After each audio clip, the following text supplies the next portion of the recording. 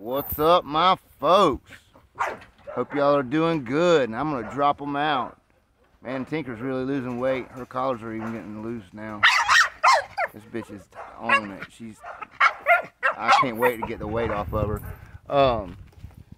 All right, let's get back to reality. We got to talk about serious shit. Okay, I had a um a question about what do you do when you you, you get one on that side. Okay, and that's going to happen. You're not always going to come out looking good. I mean, it's hot right now, and um, you know, it's rough on the dogs. I had a question about do they get go through the bushes and brush? Man, they get brush feet cut up, fucked up, terrible. Okay, terrible.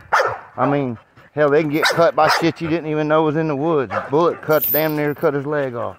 Um, but uh, so you got one that's beat up real bad. Say, there's different levels of that shit too. Some of that stuff just superficial. It's more of a time thing on it. Um, if they're overheated, that, that's when you really need to worry about it. Um, oh, his ass is stick. Uh, bitch plays like hell, don't she? But uh, like if it's just a dog stuck his head down in a hole and it comes out and it looks like his eyes are swollen shut and he's breathing good. Not, he didn't overheat, and he's just got a lot of superficial shit.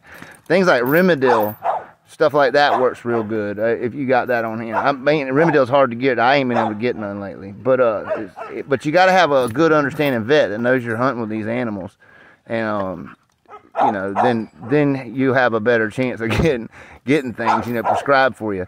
Um, dexamethasone's a real must, uh, and a lot of people don't really understand the, how to use it. All right, that shit'll fuck your dog up if you don't. I don't use no kind of that shit heavy. Don't use it heavy before any hunt. Okay, if you're worried about them, if you're worried about them running that long, you, it's the key that you need to condition them to be able to handle that that length of time. Not run not run chemicals because that's gonna fuck your dogs up.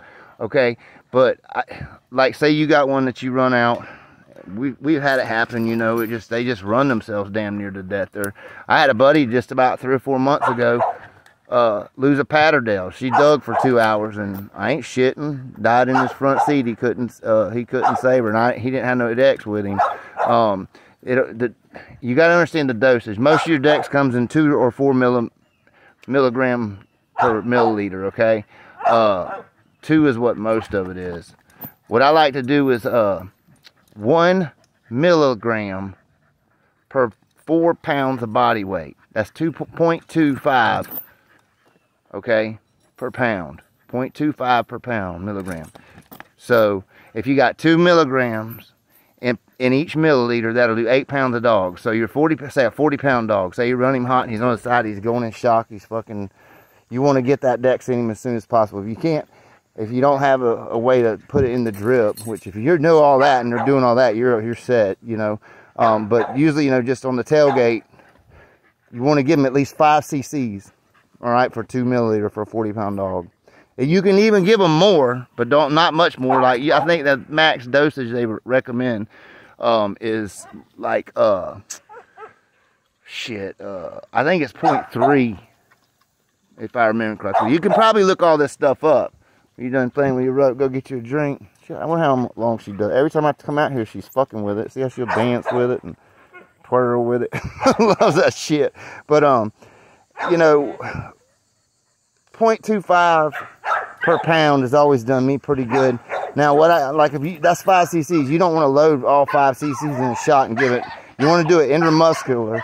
I, you know, do about two and a half per hand. You know, back leg. You know, just like you're giving a muscular shot in the back leg at the angle. Um, get that in them like lickety split, right when you can get back to your medical box from the woods. Um, have it have it in the truck now when y'all go places. Don't just rely on it to be able to make the trip home, especially if you're going far. Um, even not even far. Take your shit with you because I mean a bad hit's a bad hit. I mean it is what it is. It'll kill your ass in 10 minutes if you especially if they start going in shock. Now Dex takes a little while. I've I've watched dogs with it, you know, especially like Rusty. He don't he he does fucked up on Dex, man. You you give Rusty Dex, he's on his side laying there looking space cadeted as shit. But I mean, it, it helps. It keeps him from going in the shock. You know, um, some dogs can handle it, don't bother them. Depends how bad and shock they're gone too, because I mean, it's going to make them dehydrated. So you're going to have to give them some kind of, if you can't run a catheter and an IV, you can still bag them. You know, I was telling, we were talking about that the other day, a couple friends of mine. You can always still bag them. So, you know, put that shit under the skin and, and start pumping it to them. You know, you can, if you don't have the, uh, you know, a catheter to get in a needle in the vein. I mean, but if you that shit, you can still use it in the bag form, and it'll it'll hydrate them enough, man. You'll save them. I'm telling you, clean them out. And I'll tell you another thing: for all the the superficial cuts and shit like that, you cannot beat, you cannot fucking beat it.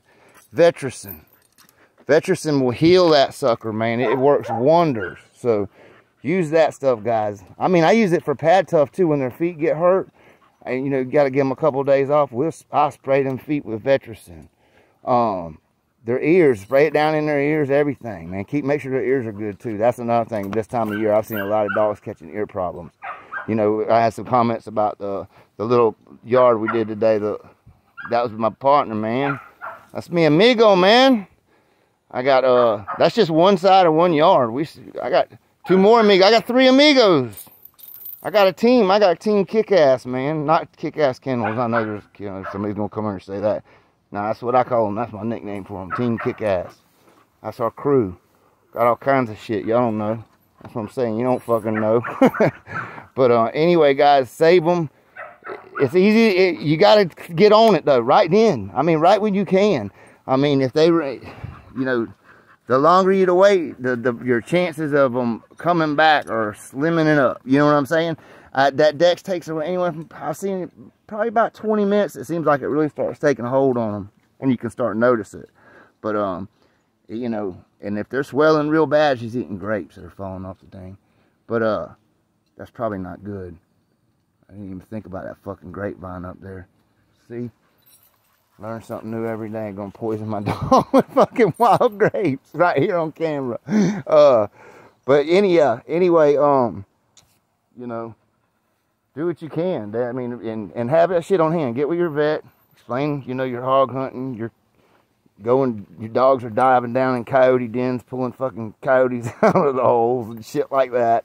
You know, you need things. You know, a half dozen Rimadyl on hand and a bottle of Dex and the right needles and a, a, a Ringer bag and just a hookup, man, you could you can do a lot of business with that. Okay, if you just take your time and do it. And a bottle of Vetericyn and some damn super glue and a needle and thread. You you can buy all that now. You can buy the, the staple guns. You can buy all the thread, the needle, all that shit. That's pre-coming packaged. I got some of that shit. It's just a pain in the ass, man. If you can get it to come back together and Vetericyn it, I mean, a lot of times, you know, little shit like on the sides and stuff, staple up, but like in hard bones, like if they get cut across the bottom of the legs and shit like that, and all, it's hard to stitch them right there and keep them, you know, Vetericyn the hell out of it. You'll be surprised what it'll do for you. But I can, I'm tell you right now, his his old legs, when he gets done growing, he's probably gonna have them all cut up running through these fucking woods around here. There's trash everywhere in these woods. And every hog's around here has done been caught by dogs so much they fight like a damn dog. But anyway, folks, y'all take care and y'all keep on bulldogging.